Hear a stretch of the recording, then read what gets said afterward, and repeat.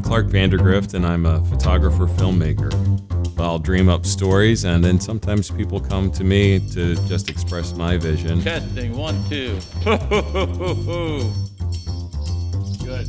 I've been shooting for about 25 years, and I'd say the last 10 years I've been doing video work. I just started dabbling in it. It was a lot of fun to get into, and Speed. it's just been a kind of snowballing ever since then. I do client direct. I work through advertising agencies and full creative teams and their departments that take us all over the world. I shoot my own short films for the fun of it. I would say 50% of what I do is personal work. I'll take friends on adventures.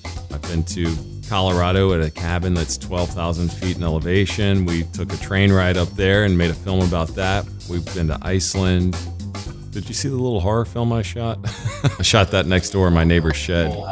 Maybe that's something to talk about. Yeah, that's pretty down and dirty. My family was my crew.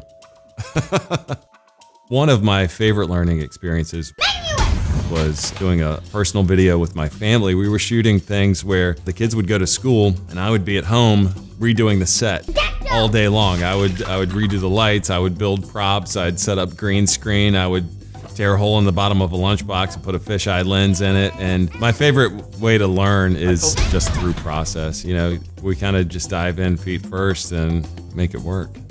Every time I shoot something for myself, I try something new.